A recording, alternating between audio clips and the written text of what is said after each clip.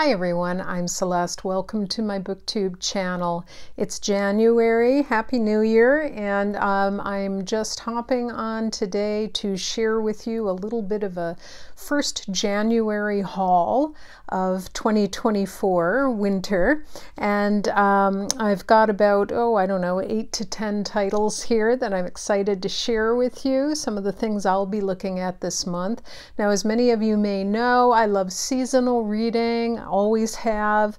Um, and so, also, a lot of my first picks of the year in January, um, in sort of going along with the seasons and the calendar, I love poetry. And so, I love seasonal poetry anthologies. And so I've got several of those here as well, not only for January and winter, but for the whole year to come. Um, the first of those is certainly appropriate for winter, and it is a snowy day out there today, finally. We hadn't had snow in ages, so I was kind of happy that it actually did snow. Um, and so the first one is from Barnes & Noble. It's one of their sort of cheap um, well, I shouldn't say cheap, inexpensive um, illustrated editions. And in the past, I've shown you the one for Sherlock Holmes. Um, and then I had another one, Edgar Allan Poe. Um, this one is the selected poems of Robert Frost, and this is an illustrated edition, so some lovely black and white woodcuts in this edition. Um, and this is what the back looks like you can't go wrong with Robert Frost. Um, long ago, I studied at um, uh, Breadloaf Environmental Writers Conference, and we stayed at the Breadloaf Inn in Vermont. And um, I was lucky enough to be able to go to Robert Frost's cottage um, to see where he actually lived. It's more of a cabin, really.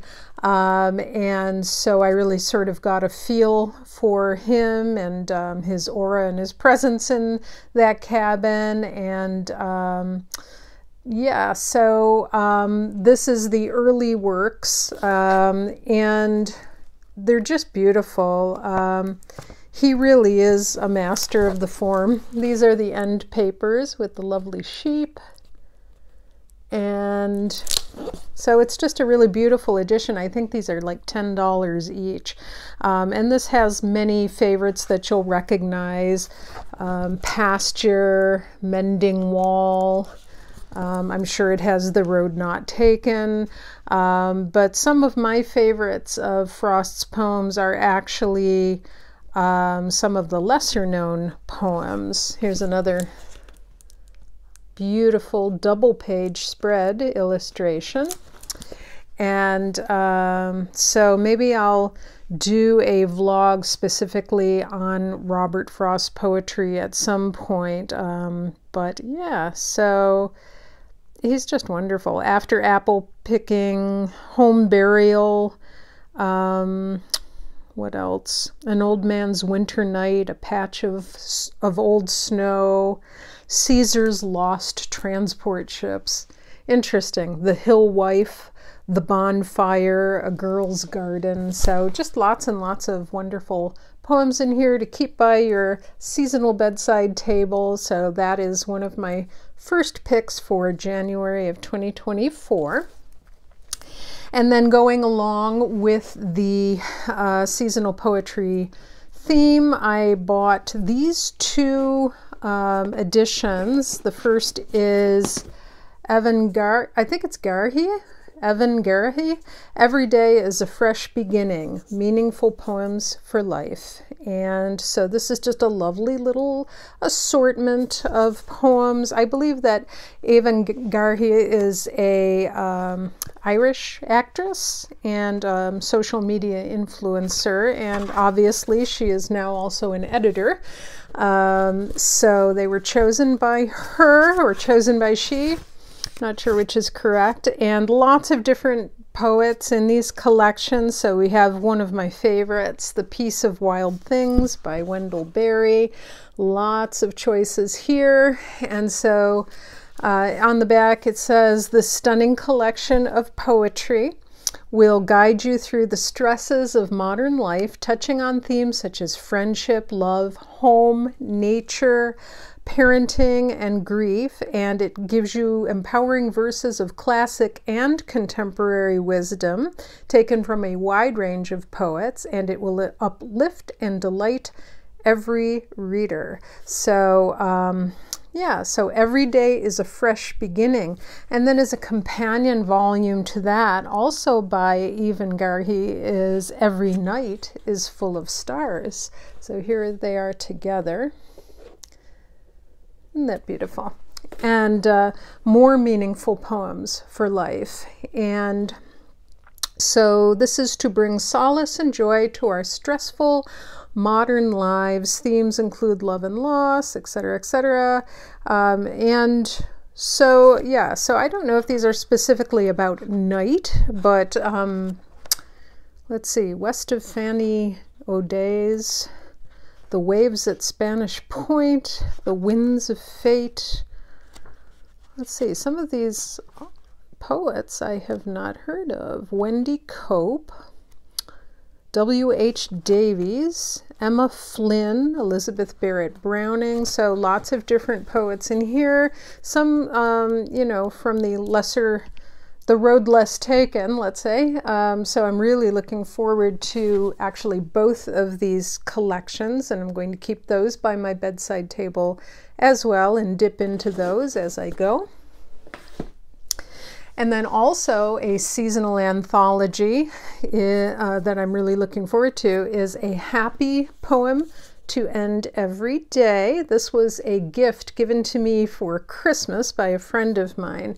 And this is uh, a Batsford edition. It's edited by Jane McMorland Hunter. Now, I have several of Jane McMorland Hunter's um, poetry anthologies. There's two right here. They're kind of far away. I don't know if you can see those. And I've actually ordered another one about urban nature, which is coming out soon. It's I think the release date is March. But I love these Jane McMorland Hunter anthologies, and um, I first learned about this one. Um, I think it's a nature poem for every day. And I learned about that from Miranda Mills. So thank you very much, Miranda. And then once I had gotten that and started researching Jane McMorland Hunter, you know, of course, the, the book sites like um, uh, Blackwell's and Waterstones and Amazon, they bring up, and Book Outlet, bring up all of um, the other editorial titles. And so, of course, then you want every single one. Um, so I've waited and waited on this one, and I'm so happy, happy to add this to my collection. Look at this absolutely gorgeous, colorful, cheerful, and uplifting cover. And Ooh, and uh, this friend also gave me a little gift card to Barnes and Noble, so I'm really excited about that. So this gives you actually a happy poem for every single day, and um, by all different authors as well Sarah Orne Jewett, Walter de la Mare, George Meredith, um, who else? Thomas Hardy um, Sarah Coleridge, Elinor Wylie. Oh, one of my favorite poems ever, and I'm going to get to Elinor Wylie in just a second. But anyway, another anthology I'm definitely keeping on my bedside table because who can't use happiness in 2024? Um, so then the, yeah, I might as well tell you about Elinor Wylie right now. So this is just a little children's book that I picked up at a secondhand bookstore, and it's not in the best condition. Um, this particular secondhand bookstore is actually connected to our local village library, so it's really cute. They only cost like a dollar or two dollars. They're used, of course, uh, but one of my favorite poems in here is Velvet Shoes, and I actually have some other works that, uh, you know, some short stories and other poems that could be connected to the poem Velvet Shoes, but just look at the illustration for that. Is that not lovely? Wouldn't this make a wonderful bookmark if you shrunk it down a little bit? So I'll just read you a little bit of Velvet Shoes because it's so perfect for January. Let us walk in the white snow in a soundless space, with footsteps quiet and slow, at a tranquil pace, under veils of white lace. I shall go shod in silk, and you in wool, white as a white cow's milk, more beautiful than the breast of a gull. We shall walk through the still town in a windless peace. We shall step upon white down, upon silver fleece, upon softer than these. We shall walk in velvet shoes. Wherever we go, silence will fall like dews on white silence below. We shall walk in the snow Uh, a favorite of mine. I really do love poetry. So, yeah, this is Winter Poems selected by Barbara Rogasky, illustrated by Trina Schart Hyman. So, there's that. And this is from Scholastic Books.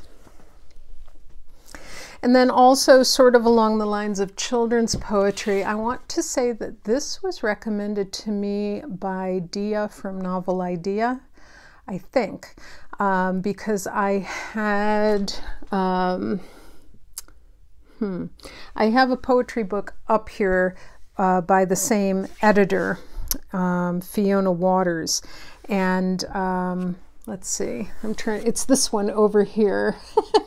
I can't reach it right now. But anyway, um, and then I think Deea in the comments had mentioned that there is another large coffee table book of children's poems by the same company or same editor. And this is Tiger, Tiger, Burning Bright an animal poem for each day of the year. So I'm so excited about this. This is a chunky monkey of a book. It's quite heavy to lift up here. Look at this tiger on the front. Isn't he just marvelous? And um, the illustrations in these books are incredible. Um, I won't be able to do them justice in this particular video holding it up like this, but um, I will definitely do another sort of beautiful books video where I show you the actual text and so forth. But let me just find something for you to look at for right now. Hold on. Ooh. Okay, so here are some of the winter poems, and this particular group for January are about horses. So there's one called The Horse by Laura Allen, and there's one called Winter by Andrew Fusek Peters. Now look at this illustration. I mean, come on. Beautiful. Look at the moon up there and the snow swirling. So I'll definitely have to dip into this one and find some favorites and bookmark them. And it's got lovely cloth um, accents on it, and the colors are just so rich and evocative. So another collection. And um, I want to say that it is who is it? Kate Howe, I think, is doing some sort of monthly read along I don't know if it's open to the public or if it's just her doing it, but um, she's designated either April or May for um, reading books about animals. So I may um, sort of glom onto that or insinuate myself into her own challenge um, by talking about this again at that point. And then I've got a bunch more here. Um, I have a couple of uh, goals for this year. In my last video, I had said actually that I'm not going to do an awful lot of tags or a lot of uh, read-alongs, but I am going to do a few. Um, now, you know I am the Nancy Drew girl. I am such a super fan of girl sleuths, and in fact, one of the categories of playlists on my channel is girl sleuths. And um, I've done several Nancy Drew videos to date. I am an ultimate Nancy Drew fan. I collect the Yellow Spine matte editions. I've talked about collecting Nancy Drew. I've got a couple of first editions. I've talked about where to start with Nancy Drew. And now that I've done that, I'm reading like groups of two or three or five, and I'm reading them in numerical order. Now, I'm a huge fan of um, one particular author of the Nancy Drew books in the Stratemeyer Syndicate, um, and those are the books by Mildred Wirt, um, and they do appear earlier in the series. I'm not such a fan of the really late, late titles in the series, but I do want to read them all again. And so at this point, I am on number seven, and that is the clue in the diary. So here is my matte yellow spine edition of that. Love this image so much. So this is the next one that I'll be reading, and I'll share my responses to it with you. And then I have to just sort of interject. I did go to a secondhand bookstore this morning uh, because I had a 20% off coupon. And they also have a deal where if you buy four books, you get the fifth free.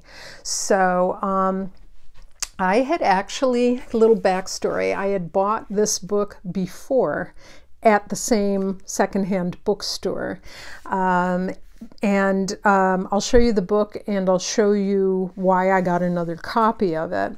So the book is The Lost Files of Nancy Drew. This is going to shine a bit in the ring light, but hopefully you can see it. So first of all, it's got this sort of um, magical effect um, where if you go like this, it changes uh, from the scroll being closed to the scroll opening, or it might be a letter. But this is sort of a pop up book or interactive book for fans of Nancy Drew. I got this for $4.99, and um, I won't go all through it right now because I'll have another vlog just on Nancy Drew. But if you open it up, it's just sort of um, ephemera and things related to the stories, like letters and journal entries and things like that, to support the stories. Um, and so it goes through, I think, 12 of the books The Secret of the Old Clock, The Hidden Staircase, The Mystery at Lilac Inn, and a bunch more. And there's just sort of like little interactive things along the way, which are so fun. Um, and some of these I don't think have really been open. Look at this is a panel in a library and you you find the sort of trap door. Look at this. I love it. I love it. Um, or I don't know if it, let's say, living history. Hmm. Or there's a different paneling behind it, and then she sees what's behind that paneling. That might be it. Anyway, the reason I wanted to show this to you is because in the back is the coup d'etat for all Nancy Drew fans. I just love this to pieces. And that is an envelope with postcards. And you open up the flap to the envelope, and inside you will find all of these really cool postcards I'll just take them out a group at a time so that you can see them. Okay, so now I'm going to put the book down so I can share these with you. But this is sort of like the coolest thing that comes with this book. And in the prior copy of the book that I had purchased about a year ago from the same place, it was incomplete. It only had like six of the postcards. This particular set is complete. So I am ecstatic. So I now have the complete set of Nancy Drew postcards, and there's 12 of them. Um, so it doesn't do all of the volumes of the Nancy Drew books. I wish it did, but um, at least it does 12. So I now have a complete set to keep in the book and I have some extras from the other, oops, sorry, the other edition of the book, uh, which I could send to people or, you know, put on my bookcase or what have you. So we have The Secret of the Old Clock, and this is an old vintage edition like the one I have that I've shared in a prior video. And the backs of the postcards look like this. So you really could send it. There's a space for a stamp. The Lost Files of Nancy Drew. and uh, copyright 1930 by Simon and Schuster. So, um, The Secret of the Old Clock, The Hidden Staircase, The Mystery of Lilac Inn. Ah, oh, beautiful. The Clue in the Diary, which is um, an earlier edition of what I'm about to read. So it's interesting to compare the different cover art. Um, and then this is beautiful. The Clue of the Broken Locket. Oh. And The Secret in the Old Attic. Is that not wonderful? That's the first six. One of my favorites, The Ghost of Blackwood Hall. The Mystery at the Ski Jump. That would be a good one to read at this time of year. The Scarlet Slipper Mystery, a classic.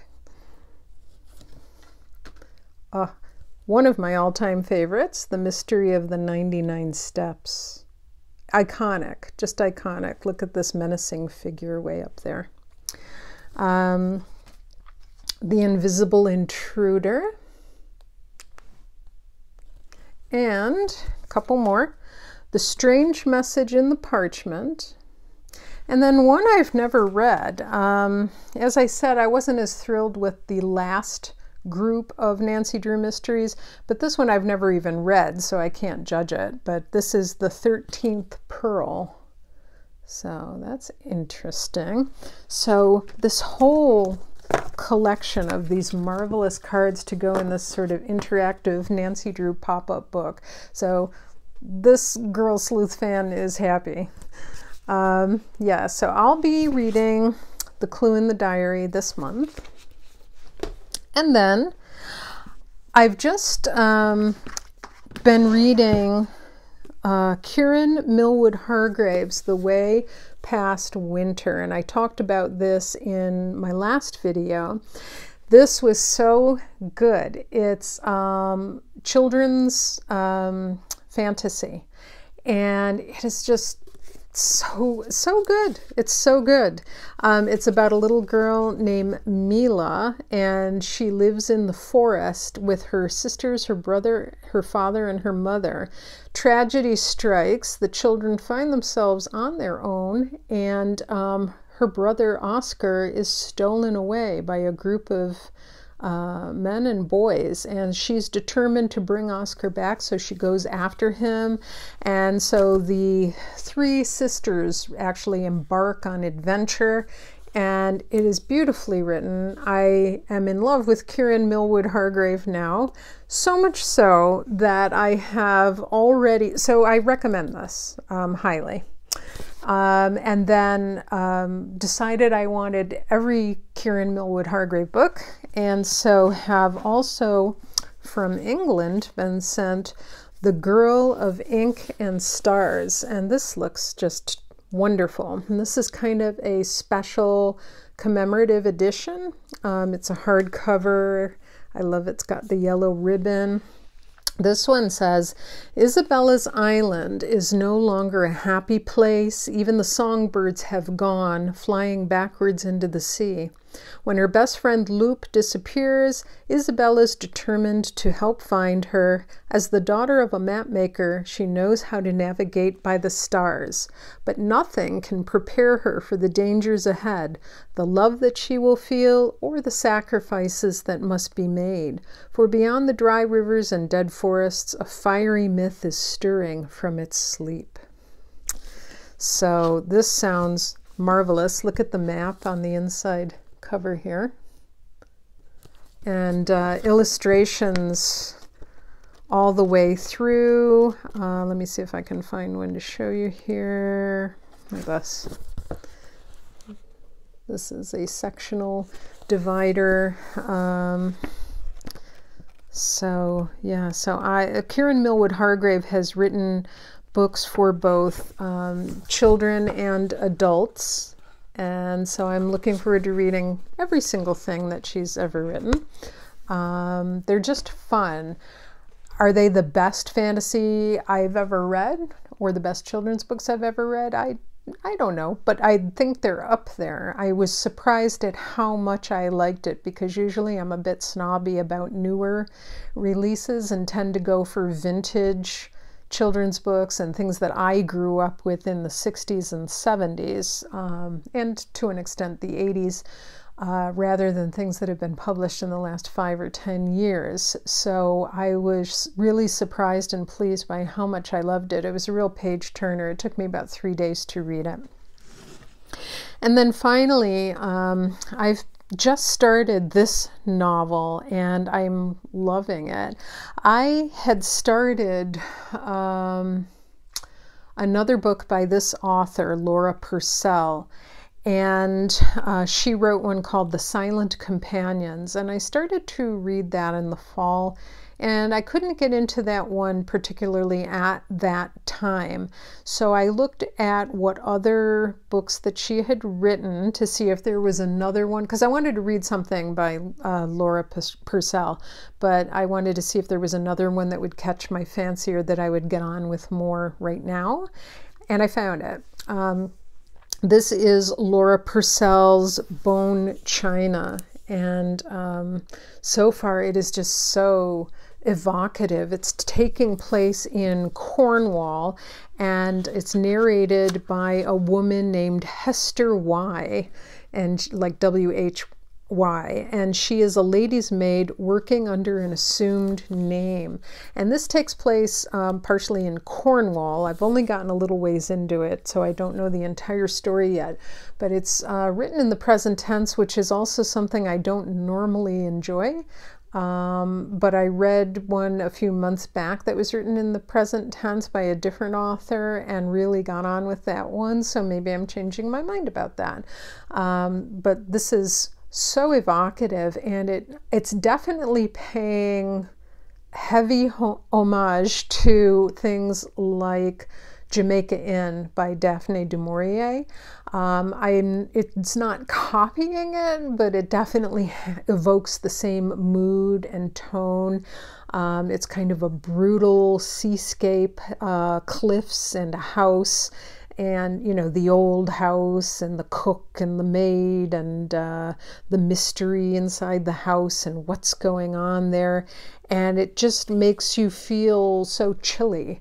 Um, it's it's really you just want to go throw shawls on and build fires and warm yourself because it just creates that sort of uh, dark and menacing Cornish sea cliff kind of a mood, um, you know, where she's going to stay at this house on the top of a cliff, and who are the people that live there, and who's the mistress she'll be serving, and what's the mystery that uh, lies beneath the surface of everything.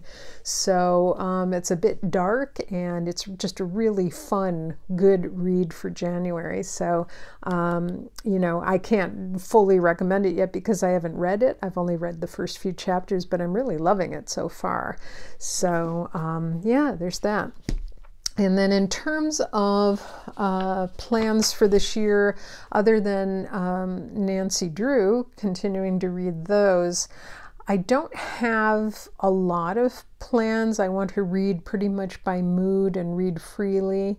Um, as so many of the other booktubers I follow are saying as well. So I think it's kind of a consensus people are coming to that they don't want their reading to be forced. Um, you know, but, and having said that, though, um, I do want to read more broadly in terms of books from different parts of the world. Um, and there is a website online. Maybe I'll talk about it in more detail in another vlog.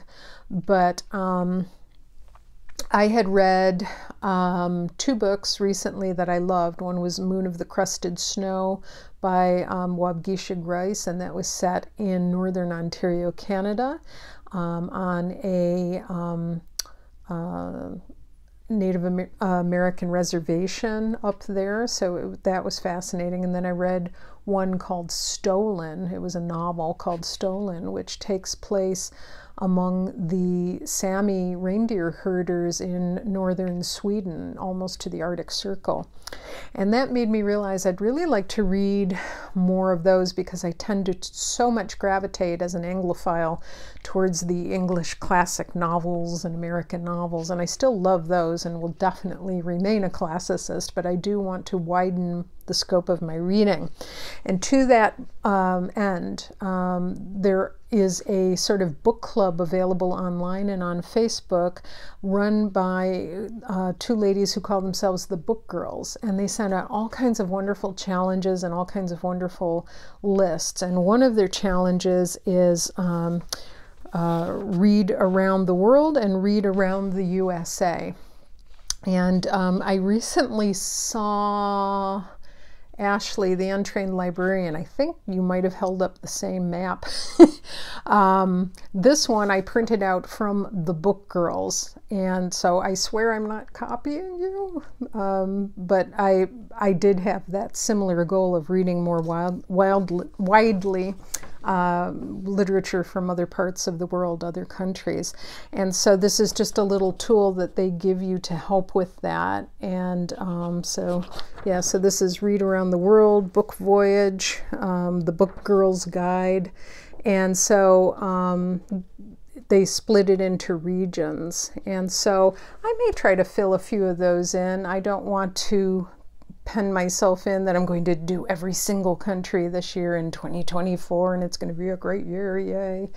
Um, but I'm going to try to pick one country at least. Let's start with that. And then um, to the same um, and there's also Read Around the USA. And so they divide it into regions. So you, you can read a book from every state if you want to do that. I don't want to commit to anything that intense, but I don't mind choosing one or two regions of the United States and reading more about, um, you know, a, novel of local color um, that teaches you a little bit about that area of the states. So, um, and finally, I know I've said and finally about six times now, but um, there's also a tag I, I am interested in participating in this year because I read a lot of history anyway, so why not? And it's Historathon um, 2024. I am making this up right now, but I think it's VIN of Revenant Reads. Sorry if I'm getting that wrong. And a bunch of co hosts. And so they split the year up into four. Um, semesters, as it were, for quarters. And the first quarter is to read a history book from prehistory up through 500 AD. So um, I'm fascinated by archaeology. I'm fascinated by uh, the Neanderthals. I'm fascinated. I watch the show Time Team uh, for entertainment. I watch um, an old archaeology show. Um, I love Time Team. And um, so I would love to learn more about the Neanderthals, and I would love to then also learn more about uh, the Romans and the Roman Empire and Roman villas and all of that. So if anybody has any book suggestions for those, I'd love to hear them. Um, okay, so that was a lot. Um, thanks for um, staying with me while I went through my January plans and January um, haul. And uh, what are you reading? Let me know in the comments below. And we'll see you again real soon. Bye bye.